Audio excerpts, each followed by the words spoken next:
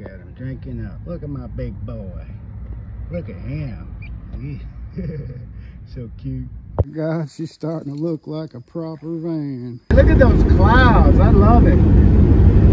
Yeah, only got about 40 miles to go, and I'll be there about 5 o'clock, so I have plenty of time. Truth be told is I can make it all the way down to Pensacola, but uh, I'm just moseying. And I'm just glad to have the opportunity to do this. It's a uh, Sunday. Uh, feeling pretty good about it. Slept well last night. refreshed. So I'm looking forward to a little bit of adventuring. All right, so we're down here Wetumpka, Alabama, which is the Montgomery area. Actually making good time, so I'm gonna go ahead and go down to uh, Greenville, Alabama.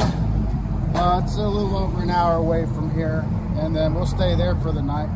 She's running good. I just got some more fuel, stopped and ate a little bit of lunch. Yeah, this will be the first time that I had the old time machine down by the ocean. Looking forward to that looking forward to doing some saltwater fishing too. That's a totally different ball game.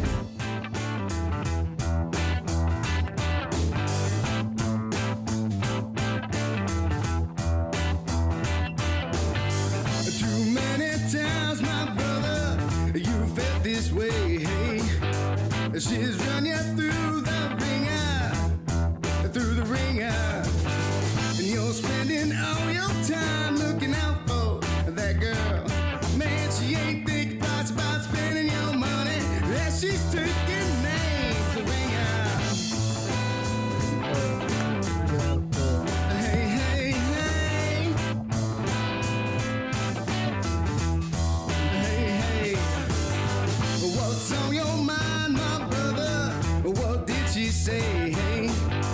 she's running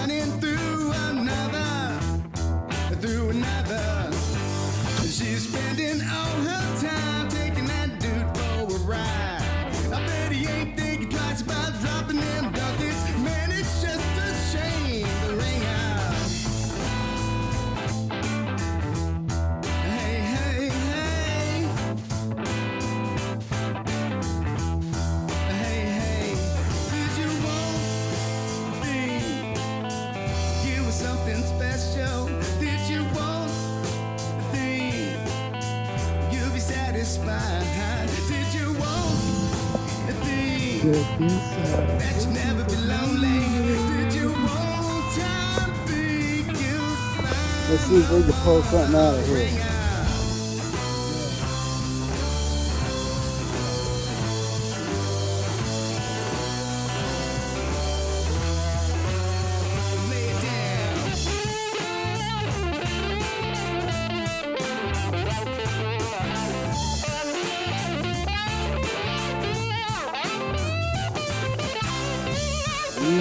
Mmm.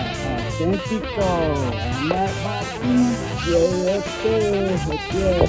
Now, let's this out. Me a nice lunch. It's hot out here, man. I'm glad I insulated that roof.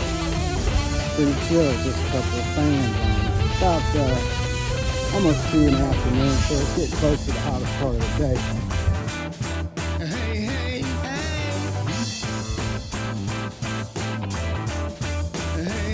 See that glow in the water?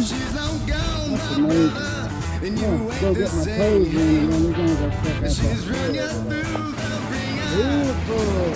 through the ringer. Now life's passed you by and you're out of this world. Man, I told you multiple times, don't be spending your money on that little girl, the ringer. I got my fishing gear. It's on. Let me go pay this 750 and get out on this pier.